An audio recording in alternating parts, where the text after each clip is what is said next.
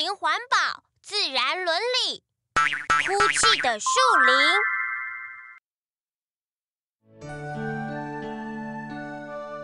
再见，明天见。啊！太阳公公都下山了，为什么还这么热？真的好热哦！再忍耐一下，等一下到了绿色隧道就凉快了。耶，没错。哟嘿，绿色隧道，我们来喽！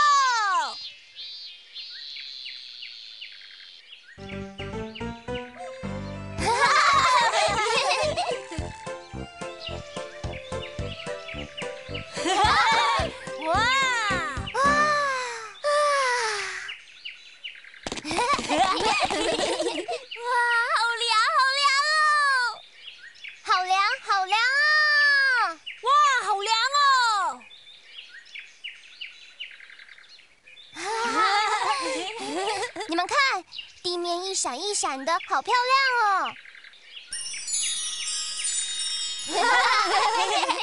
啊！我爸爸妈妈说，他们刚结婚的时候，这些树才刚种哎，矮矮小小的，种了十几年，才长到现在这么高。什么？这些树要这么久才能长这么高啊？不知道，等我们长大以后，这些树会长到多高啊？你们看，有小松鼠哎！真的耶！哇！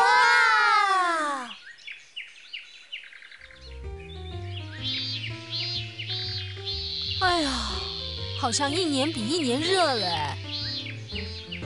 妈咪，我们绕一下路，从绿色隧道走去买菜吧。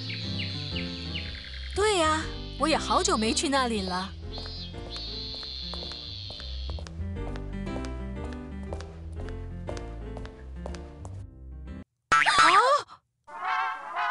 妈咪，怎么会这样？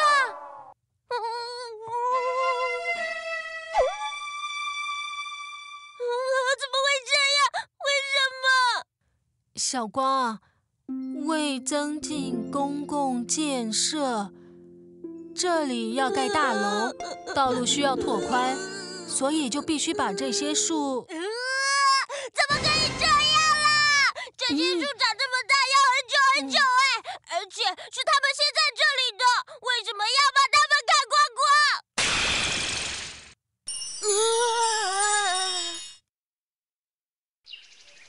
呃，啊！小光躺在我身上睡觉，很舒服吧？太舒服了。呃你是谁？别怕，我是树林公公，欢迎来到树林王国。啊，树林王国，这里好多树，好漂亮啊！在树林王国里的树是最幸福的，但是，一旦离开了这里，就……你是指绿色隧道的那些树吗？那只是其中的一小部分。每天都有很多树木被砍伐，运气好的或许能够被妥善的移植或利用，但大部分都无辜的牺牲了。我也不知道为什么要把你们砍光光。为了守护人类与地球，总是尽责的站在这里，但人类常常为了私人的利益，就牺牲了我们的生命。我不要。我们与所有植物一样，会行光合作用，制造氧气，吸收二氧化碳，净化空气，美化环境。树荫可以调节温度，果实、种子、植物体可以当食物，药材、香料、建筑材料、燃料、造纸。树根可以防止水土流失，防止沙尘暴，增加蓄水能力，改善生态环境。除此之外，我们还能供人观赏，放松心情，修正视力，让其他动物休憩，维持生态的平衡。我们对人类世界来说是一种不可缺少的生命体呀、要怎么做才可以帮助你们？你可以把我刚才说的话告诉你所有认识的人，改变大家的观念，不再乱砍树。这不但是为了我们，也是为了你们人类自己。好，我一定会的，小光，小光，我一定会的，我一定会的。嗯，你终于醒了，吓死我了！妈咪，我刚刚遇见树林公公了。什么树林公公？你中暑晕倒了？妈咪，我没有骗你，我真的去了树林王国。树林公公跟我说，树可以净化空气，制造氧气，还可以调节温度，防止水土流失，还有……好，好，好。树不会说话，也不会动，所以我们常常忽略它的重要。地球上如果没有树，不但有很多生物会消失，人类也无法生存。如果没有树，人类将会死亡。我们只有一个地球，种树、爱树、保护树，是我们大家的责任。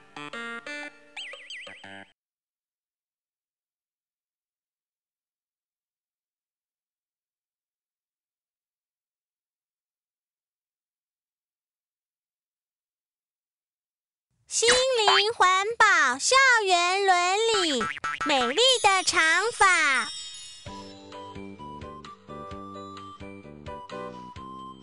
这堂课要练习画人像，就请美丽同学当我们的模特儿吧。好的，老师。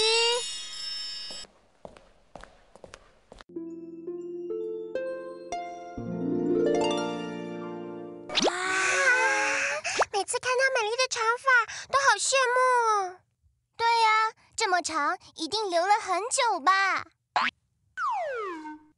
头发这么长，好像女鬼哦。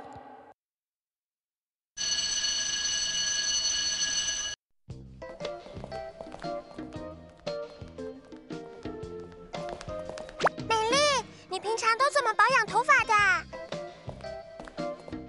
看起来好柔顺，都不会打结。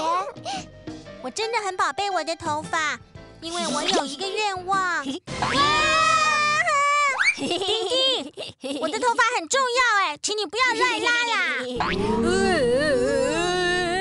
女鬼，女鬼。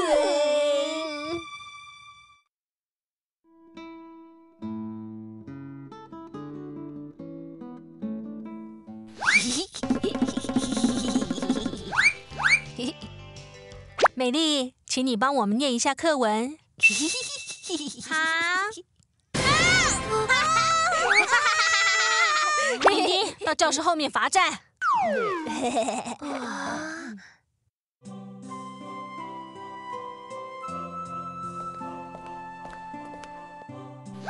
对不起，因为一些原因，我把头发剪短了。啊。啊，没关系，短发还是一样可以画。大家继续吧。美丽是不是跑去烫头发，不小心烫坏了，所以只好剪掉？还是得了什么怪病，头发掉光光了？嗯，我知道了，一定是丁丁啦。嗯，都是丁丁一直叫美丽女鬼，还拉她的头发，美丽觉得很难过，才把头发剪掉的。对，一定是这样，都是丁丁害的。嗯真的是因为我吗？再见。你要去哪里啊？补习。哇，好用功哦！今天上体育课的时候做的体操好有趣。美丽，对不起，我不应该捉弄你，叫你女鬼，害你把头发剪掉。呃，丁丁，不是这样子啦，你误会了。虽然我不喜欢你常常乱弄我的头发，但是我的头发不是因为你而剪的。嗯，那是为什么？你们跟我来吧。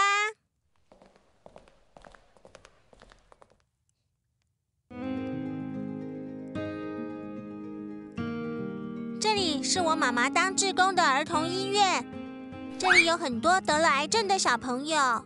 这跟你的头发有什么关系呢？因为得了癌症，必须做化疗，而化疗会让头发掉光光。所以，为了不让这些小朋友觉得自己不一样，我留长头发，就是为了捐出头发做成假发送给他们。美丽，你好棒哦！你好有爱心啊！哦，原来是这样啊！美丽，男生也可以捐头发吗？当然可以呀，只要不怕别人的异样眼光和捉弄就可以了。你不要这样说啦，我知道错了，我也想帮助这些小朋友。我们也要帮忙。太好了，只要有恒心和毅力，每个人都可以贡献自己的头发做爱心哦。这样就不用每个月剪头发了，还可以省钱耶！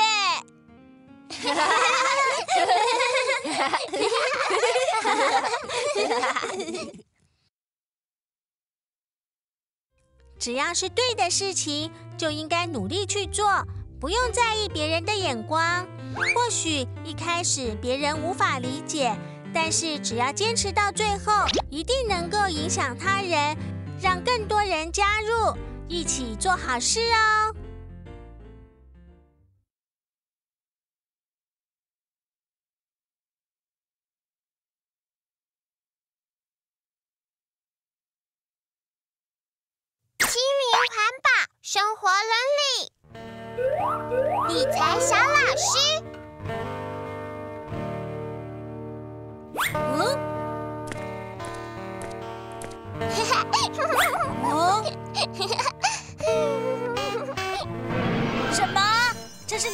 用钱买的？对呀，厉害吧？妈咪不是每天都只给我们十元？你怎么有钱买这么贵的东西？嗯，我知道了，一定是妈咪偷偷多给你零用钱。咦，才不是呢！你还记得半年前？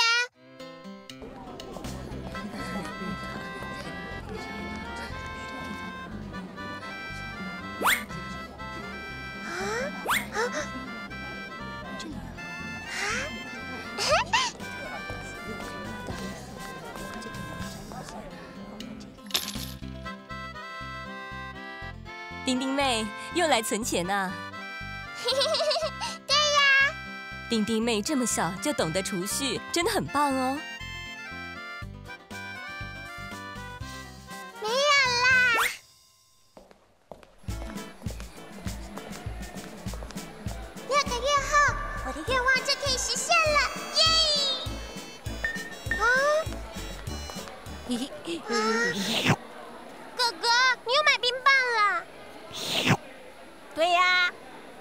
我用零用钱买的，难道不可以吗？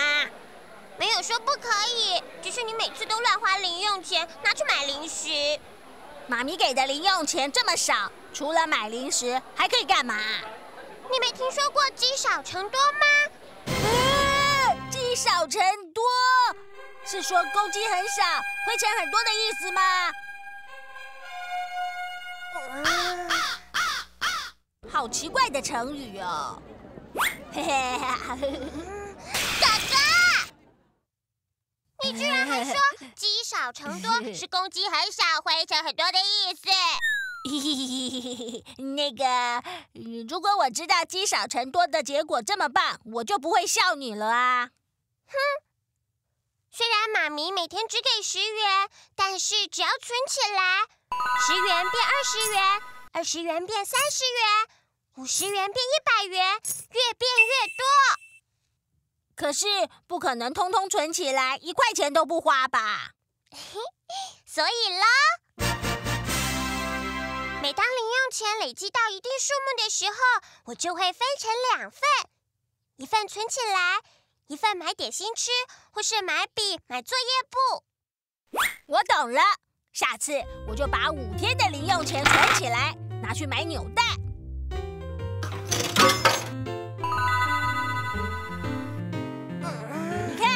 少成多，我也会。可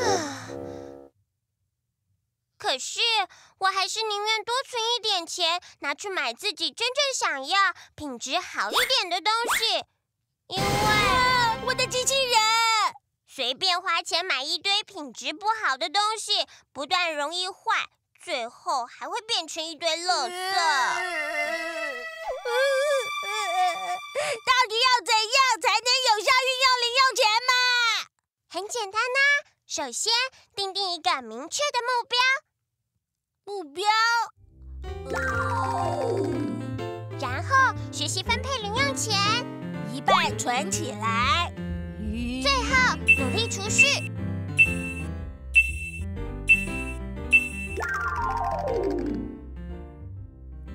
很快，你的梦想就能实现啦！嗯，从今天开始，我也要开始储蓄，规划零用钱，把钱花在更值得的地方，而不是通通拿去买零食和玩具。太好了，哥哥，我们一起努力储蓄吧！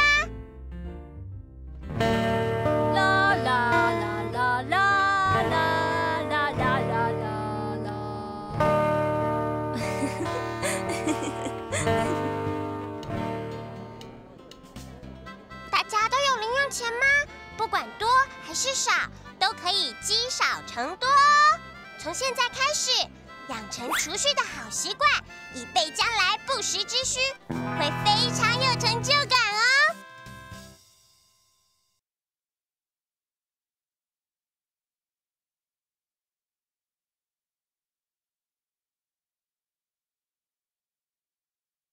心灵环保，族群伦理。刻板的幻影。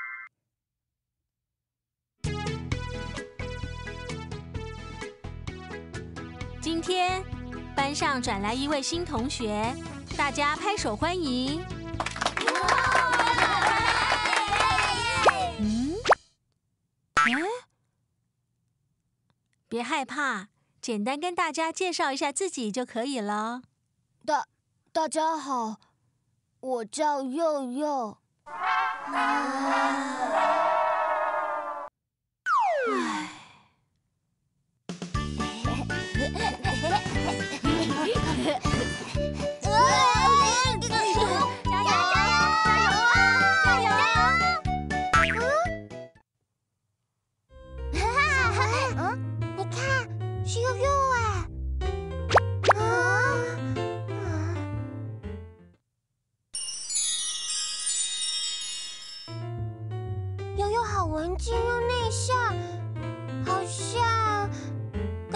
其他男生不太一样哎。对啊，是不是有一点？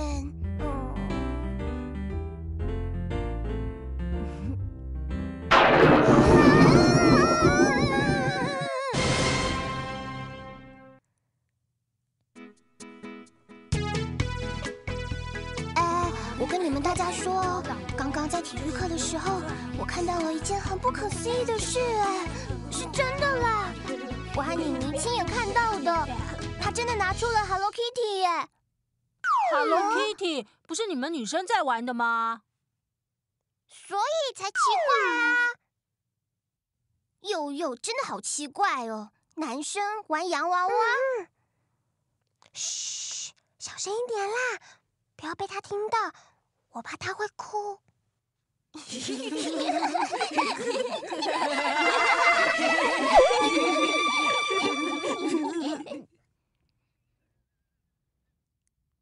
唉，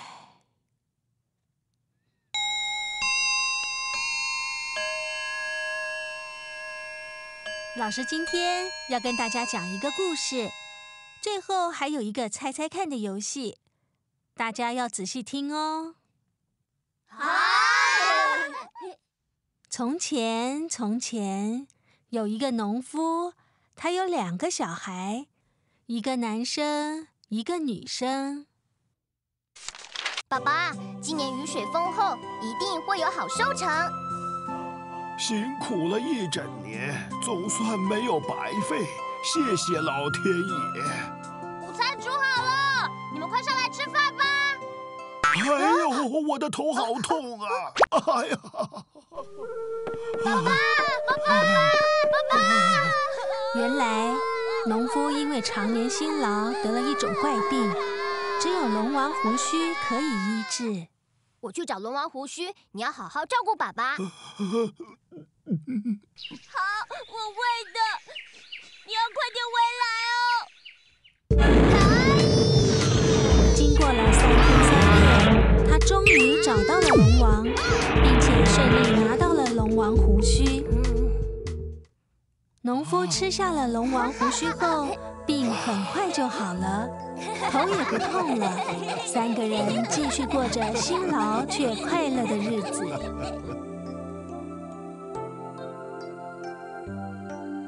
故事说完了，现在我要你们猜一猜，农夫的两个孩子哪一个是女儿，哪一个又是儿子？我我我知道了，我知道。当然是帮农夫耕田，和龙王决斗，拿到龙王胡须的是儿子啊！对啊，带午餐到田里，细心照顾生病农夫的是女儿。没错，对啦，一定是这样，这也太好猜了吧？哦，真的是这样吗？啊！怎么可能女生怎么可能有力气种田，还那么勇敢去打龙王？啊，老师，你把我们大家都搞糊涂了啦！从小你们就一直被告知，女生必须是安静、乖巧、顺从的，男生就应该要积极、勇敢、不可哭的。可是，事实真的是这样吗？那些都是受到社会文化赋予性别的刻板印象。仔细想想看，是谁规定女生就一定要玩洋娃娃，男生就一定要会打篮球呢？谁说女生都很会煮饭？爸爸妈妈带你们上的餐厅、饭店的主厨，不常常都是男生吗？每个人都有自己独特的模样，不应该歧视跟自己不一样的人。彼此尊重、包容、欣赏，才是正确的态度哦。对不起，佑佑，我们错了。佑佑，你的 Hello Kitty 好可爱，可不可以借我看啊？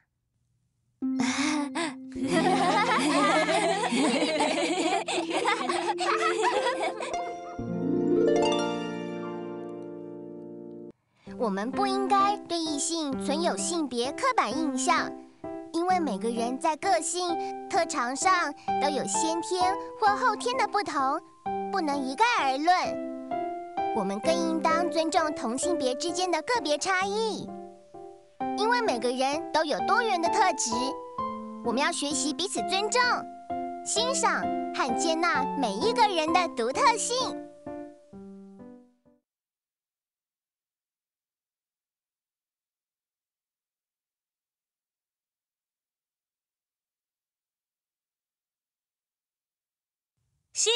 环保，族群伦理，棒棒糖的滋味。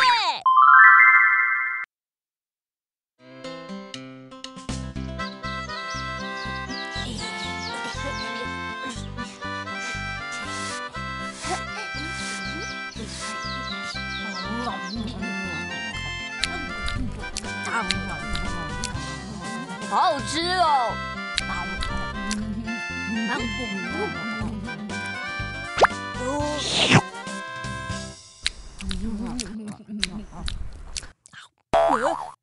你吓到我了！你你也想吃吗？想吃的话，自己去买啊！对啊。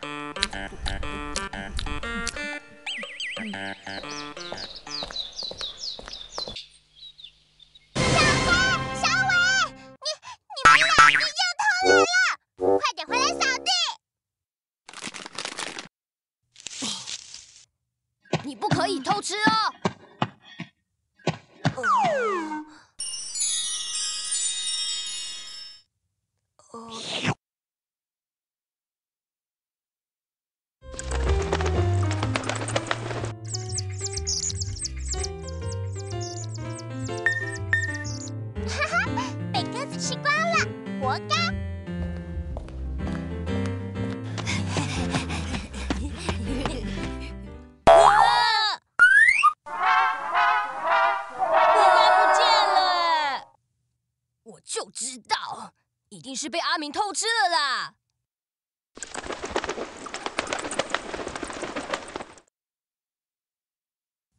明天户外教学，大家要记得带水、午餐或是一些饼干之类的小点心哦。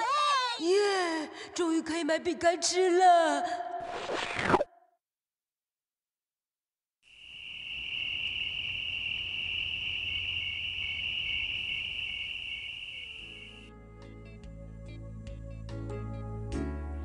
妈咪，我们明天要校外教学，老师说要带水、午餐或者是饼干之类的小点心。妈咪，我想，可是妈妈这个月的工资还没发哎，还好我今天有买白吐司，你明天就带去当午餐好了。哦好。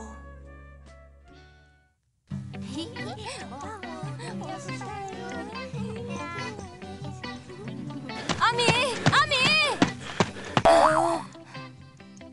阿明，你怎么忘了带吐司？这样中午会饿肚子啊。哦，哦，哎，你看阿明怎么带白吐司啊？阿明午餐只吃白吐司，哎，难怪他会偷吃我们的饼干。对呀。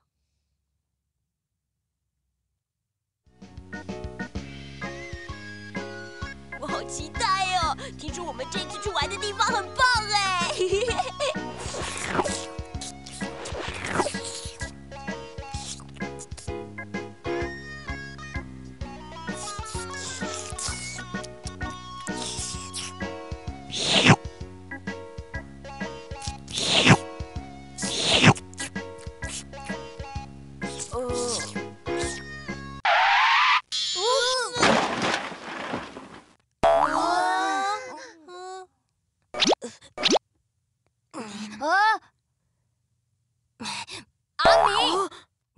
偷吃我们的饼干，现在又想拿我们的棒棒糖。我我我没有吃你们的饼干，这些棒棒糖我是捡起来要还给你们的。我妈咪说不能拿别人的东西。骗人！我才不相信。阿明说的没错，他没有吃你们的饼干。昨天你们两个藏在花圃的饼干是被鸽子吃掉的，我亲眼看见的。哦，这些棒棒糖明明是刚刚你们掉在地上的糖，滚到我们脚下。我和阿明把棒棒糖捡起来是要拿来给你们的。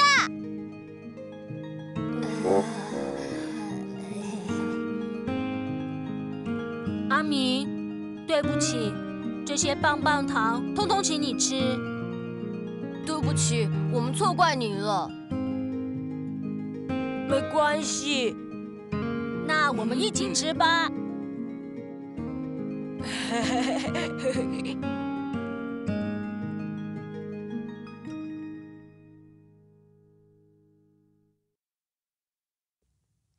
一开始，我和小伟都误会阿明。我们认为是他偷吃我们的饼干，又打算拿我们的棒棒糖。但是当我们知道事情的真相后，才发现我们都误会他了。我们一直都以小人之心度君子之腹，大家千万不要以猜疑的心理去揣测别人的心，不然可是会失去一个好朋友哦。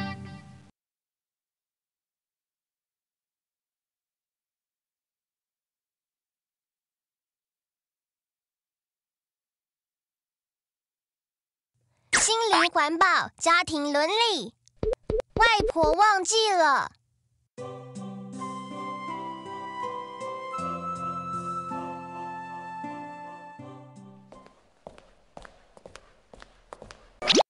婉儿，我们去看外婆，马上就回来哦。啊，看外婆，我也要去。嗯，好吧。可是外婆最近身体不太好，婉儿只能静静的，不可以吵外婆哦。好，我知道了。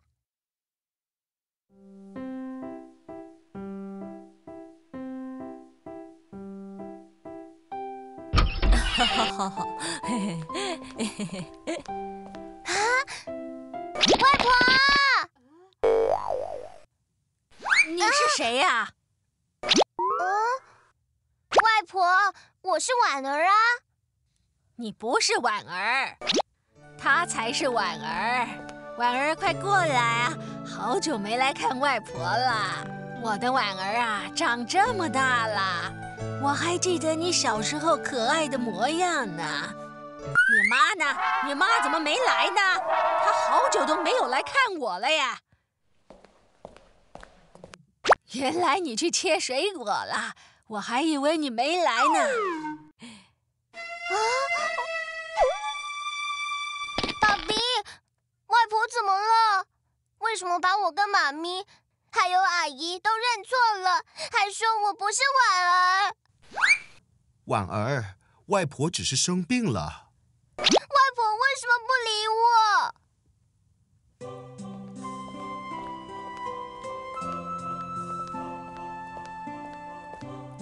婉儿，外婆是大脑退化，罹患了失智症。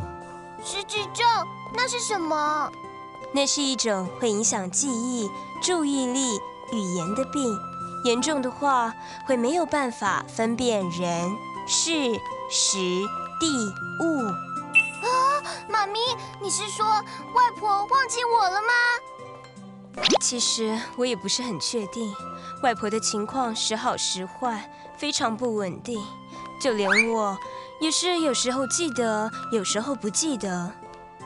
我和妈妈就是怕你伤心难过，才不想让你去看外婆的。不过这样也好了，外婆一向最疼你了，你现在也已经长大懂事啦，是应该让你知道的。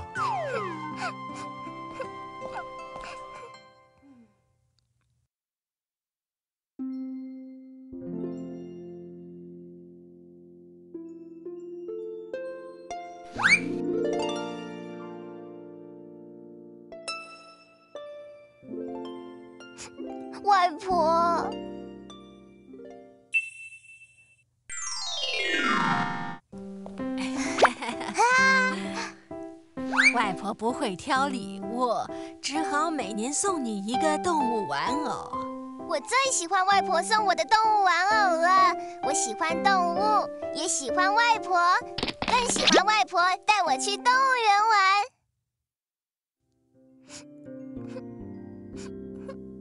玩。下星期就是我的八岁生日了，这一次外婆还会记得送我动物玩偶吗？以后还会带我去动物园玩吗？外婆，你不要忘记我！外婆，也不要忘记我们的开心回忆，好不好？外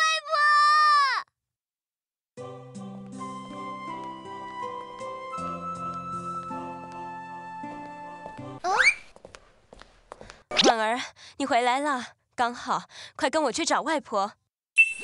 外婆怎么了？我带阿妈在附近买菜，才一下，阿妈就不见了，我就赶快跑来看阿妈有没有来这里。先别说了，赶快去找阿妈吧。好。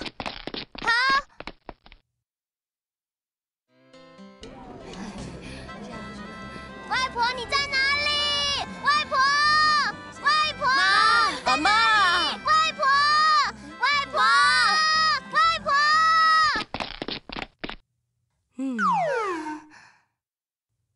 到底会跑去哪里呢？啊我知道了，快跟我来！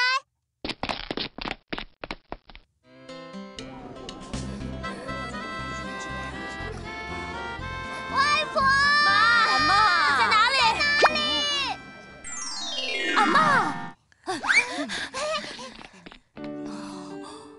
原来妈是来帮婉儿挑生日礼物。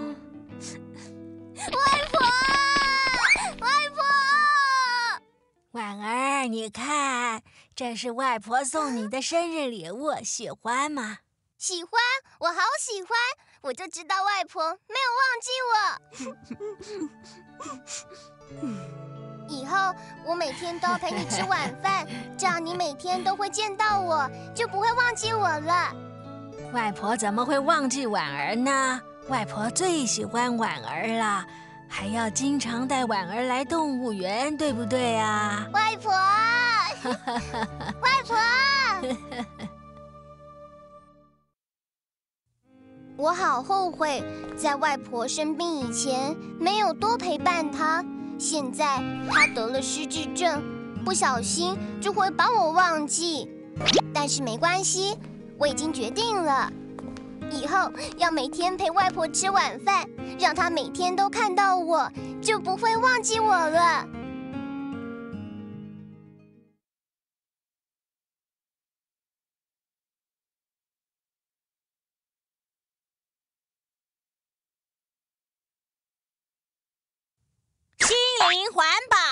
活伦理，忙碌的一天。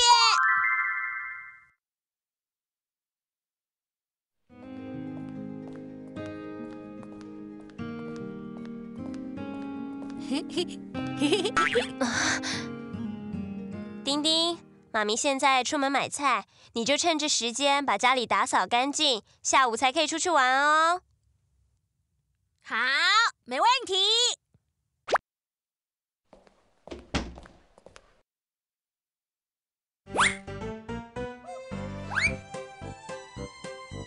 我的！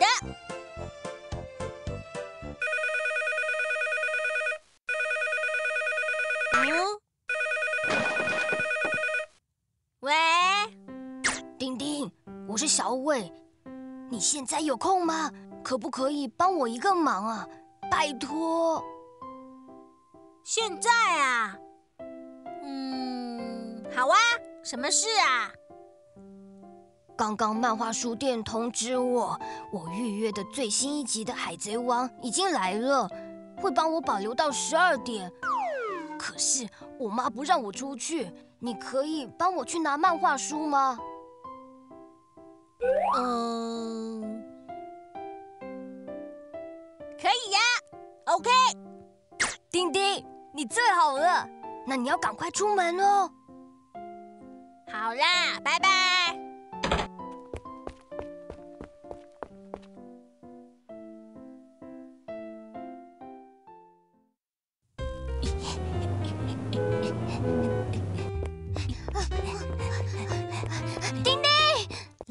婉儿，你怎么啦？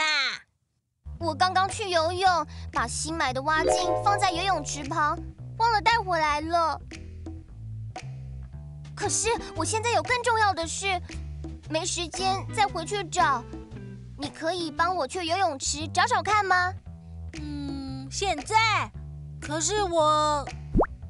拜托啦，蛙镜是我爸比帮我新买的，今天才第一次用，我绝对不能弄丢。拜托你啦！好吧，谢谢你，丁丁最好了。嗯，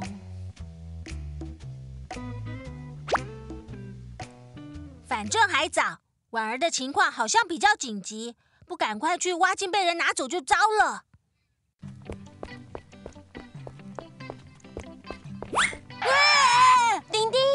你不是应该在家里打扫吗？为什么在这里？嗯，不是啦，我有重要的事，快来不及了。我回去再跟你说，拜拜。丁丁，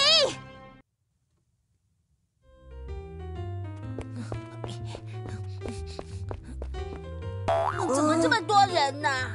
哎，哎，请不要插队好吗？排队。我没有要买票，我只是要……不管，就是要排队。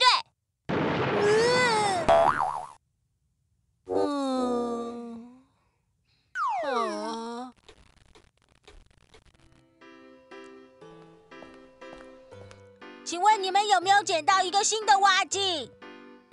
请你到右侧的办公室询问，如果没看到就没有喽。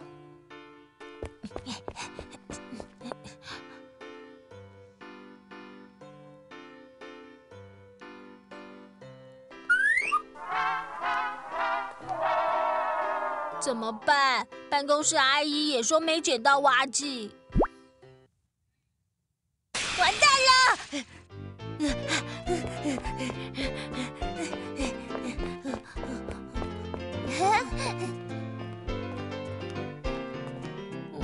丁丁，婉儿，你不是说有重要的事吗？怎么会在这里？对啊，我说的重要的事就是来拿预约的最新的《海贼王》啊！你说什么？还好前一个预约的人超过时间，我才可以租到漫画。前一个预约的人该不会就是小伟吧？对了，你帮我找到挖镜了吗？呃，嗯，挖镜这个呃没没有哎，没有，完蛋了啦！我一定会被我爸比骂。啊，怎么会这样啊？丁丁，你最好解释清楚，为什么打扫到一半就跑出去呢？还有，小伟他一直打电话过来，到底是怎么一回事？唉，说来话长。算了，没有借口。为了处罚你不守信用，一个礼拜不能出去玩，在家好好反省。什么？以后我再也不随便答应帮别人忙了。不但累个半死，自己的事没做好，答应别人的事也没办好。不但帮了倒忙，还成了不守信用的人。不止这样，我还有一个星期不能出去玩，真是得不偿失。在答应别人的事之前，要先考虑自己的能力。如果做不到，就不要轻易答应。不然像我这样，不但没帮到婉儿和小伟的忙，连答应妈咪要打扫家里也没做好，最后还成了不守信用的。